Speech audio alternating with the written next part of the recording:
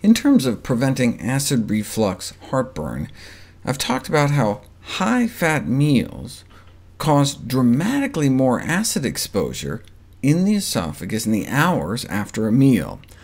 But why does high fiber intake decrease the risk? Uh, one typically thinks of fiber helping out much lower in the digestive tract.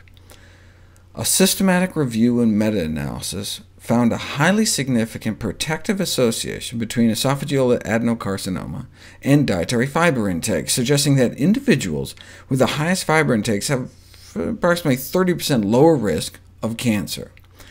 This could be because of the phytates in high-fiber foods slowing cancer growth, uh, could be the anti-inflammatory effects, fiber could be removing carcinogens, but those are all generic anti-cancer effects of whole plant foods. Specific to this type of acid irritation-induced esophageal cancer, fiber may decrease the risk of reflux in the first place.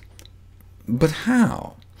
Hiatus hernia occurs when part of the stomach is pushed up through the diaphragm into the chest cavity, uh, which makes it easy for acid to reflux up into the esophagus and throat. It affects more than 1 in 5 American adults. In contrast, in rural African communities that were eating you know, their traditional plant-based diets, it wasn't 1 in 5, it was closer to 1 in a thousand, almost unheard of. It's almost uh, peculiar to those who consume Western-type diets. Why are plant-based populations protected? Perhaps because they pass such large, soft stools, three or four times the volume as Westerners. What does the size and consistency of one's bowel movement have to do with hiatal hernia? A simple model may help illustrate the mechanism producing upward herniation of the stomach through the hole in the diaphragm that separates the abdomen from the chest, called the esophageal hiatus. That's the opening. If a ball with a hole in it is filled with water and then squeezed, the water is pushed out through the hole.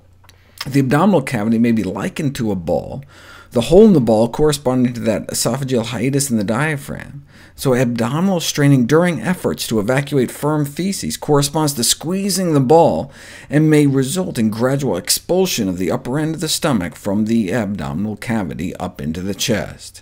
It's like when you squeeze one of those stress balls.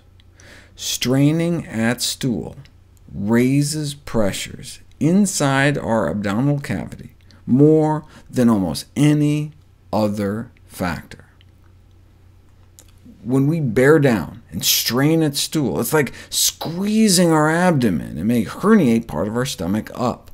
Consistent with this concept is the observation that in Africans the lower esophageal sphincter is entirely subdiaphragmatic, whereas it usually straddles the diaphragm in Westerners, and is above the diaphragm in the presence of hiatus hernia and the same abdominal pressure from straining that may cause hiatal hernias, may cause a number of other problems. The straining uh, can cause herniations in the wall of the colon itself, known as diverticulosis. And that same pressure can also back up blood flow into the veins around the anus, causing hemorrhoids, and push blood flow back into the legs, resulting in varicose veins as well.